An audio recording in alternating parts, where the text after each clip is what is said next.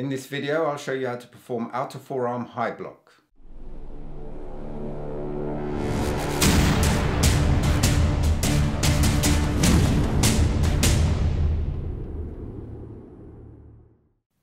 If you haven't watched my previous video on inner forearm middle block, I suggest you watch it because many of the principles for high block are going to be the same, but I won't be going in as much detail in this video. A high block is used to protect against an attack to your neck and areas above. I'm going to be showing you how to do an outer forearm high block. The outer forearm is the first third of the forearm measured from the wrist to the elbow. The block will have a twist in action like this because we're using the outer forearm. Remember with inner forearm it twisted the other way. So practice twisting outwards like this and it's better to practice with two arms at first so we can help develop the muscles in the forearm. So start off slowly and then start doing it sharper as we go along. Okay, so make sure that the wrist is kept straight, so avoid bending it back like this. And when you've practiced that a few times, practice with one arm only and pull the opposite fist to the hip. So whenever you use this reaction arm in this way, you always twist this way. So the arms will be twisting in opposite ways like that. So start off slowly and then develop more speed and power. Make sure you twist both wrists at the same time. And the blocking arm will start on top whenever you use outer forearm. Remember the inner forearm started underneath in the previous video.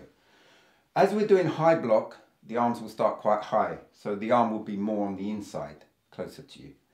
So practice this a few times, and then practice on the other side. Now let's look at the block in more detail by going into a walking stance and practicing from there. Firstly, relax the body and go into a neutral position so your fists are in front of your chest and bend all your joints so your body's relaxed and your body will drop at this stage. Now wind up for the block by bringing the fist back of the blocking arm, swing it back and the opposite arm goes forward. The palm of the blocking arm will be facing towards your face and the palm of the opposite hand will be facing down. So you move them in opposite directions, your body will raise at this stage and then you drop sharply as you execute the block.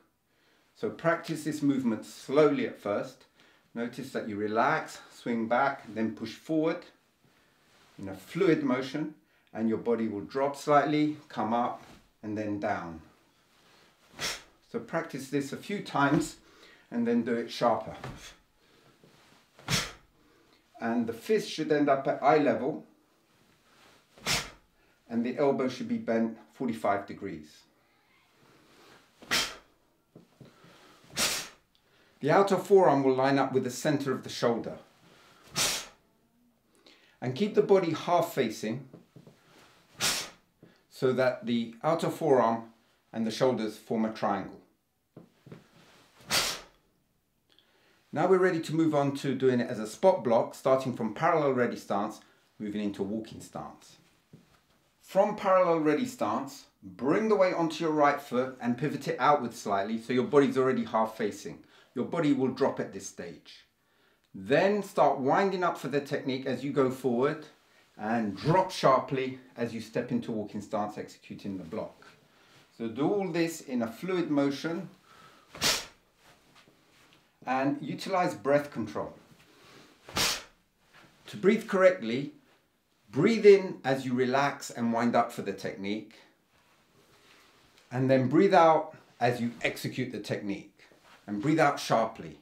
It's rather like blowing out a candle. If you breathe out slowly, it's not going to do anything. Breathe out sharply and imagine the candle's far away. So you have to breathe out even sharper. And this will help activate the muscles, especially in your abdomen. So this helps with core stability.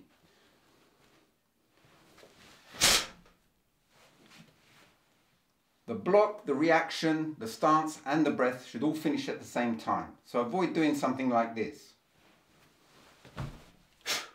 That's completely mistimed. Also notice that your body will drop slightly, raise and drop sharply at the end. This is what we call sine wave. I will be describing sine wave motion in great detail in a series of videos dedicated to that subject alone, because it's a very misunderstood subject in Taekwondo. But we'll leave it for now. A way of getting power in your technique is to use a jerking movement from your abdomen, just as I described with inner forearm middle block. So it's a very short, sharp movement and it helps to add more mass to the block, like that. So try to utilize that as well. Now we're ready to perform 10 outer forearm high blocks as a spot block starting from parallel ready stance moving into walking stance. So let's do it alternating sides. Hana Tul Set Net Taset Yaset 일곱, 여덟, 아홉, 열. And that's outer forearm high block. So in my next video, I'll be showing you outer forearm low block. And before I go, I'd like to thank all the new subscribers since my last video.